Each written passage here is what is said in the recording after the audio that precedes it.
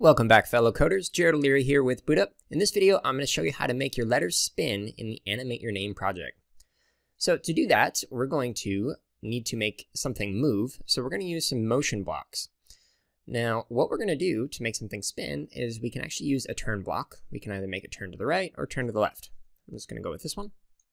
And now when I click on the letter, it runs through all of this code, and the last thing that it does is it turns. Now that's cool and all, but I want to actually make it so that it turns a lot.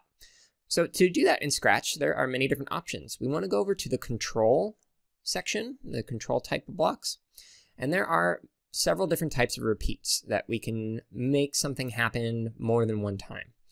So in this instance, we can start with repeat, and we could say 50 times.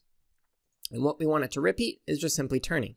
So now when I click on it, when it's clicked, it's going to play a sound, change the way it looks with these two blocks, and then repeat this thing 50 times. So let's see what it does. Cool. Now, if I wanted to, I can actually make repeat forever. So I don't have to type in like a really large number right here. There's actually a block that just makes it so that you can go forever and ever and ever. Now to do that, all we have to do is just use the forever block. And then whatever you put inside of here, it's going to do forever. So now when I click on it, and we have a spinning letter that's just going to keep going and going and going.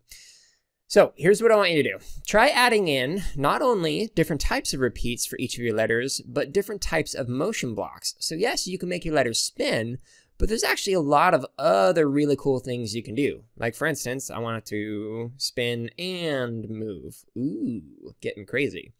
So anyways, try out some of these different motion blocks, some different control blocks, add them to each one of your letters, and have fun animating your name.